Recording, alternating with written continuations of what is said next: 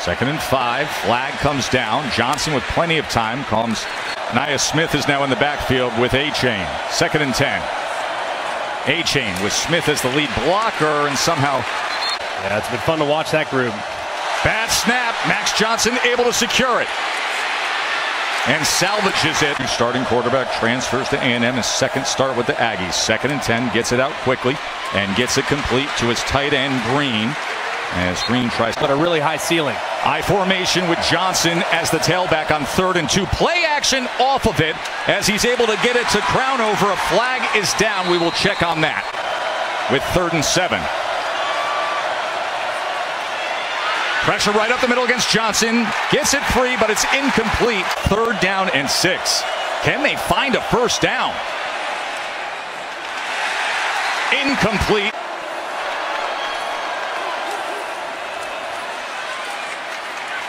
Only a couple yards this time as he was backed up. Positive here on first and 10. Number six can help that. Play action on first down. Johnson just going to get it to Achane.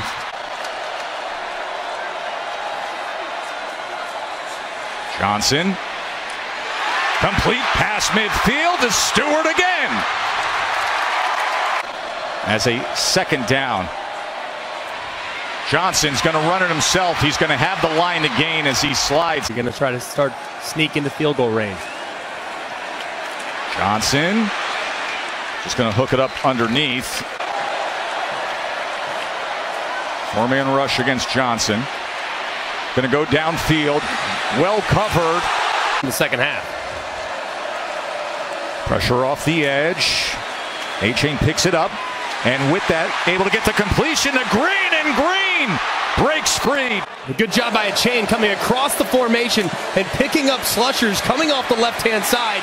Was unblocked, but Slusher gets picked up by the running back, which allows Max Johnson to step up calmly and find Green crossing the formation. From Green.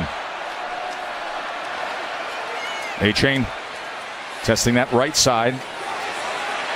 That leg drive keeps going. Catalon, the All-American safety earlier this year.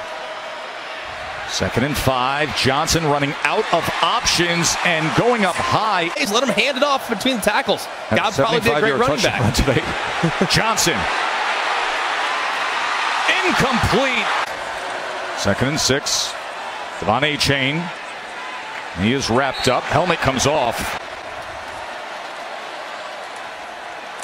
Achane Speeds to the outside. Flag is down. Diamonds on her maroon and white blanket.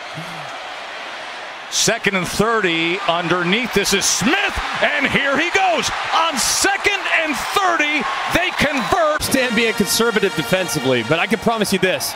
I'm not going to allow Ainias Smith to have 15 yards. Because of his athleticism. Achane. Cuts back. Johnson to the end zone. Incomplete. Things. But he feels like this offense has been close to breaking out. They run option, and Johnson does so well.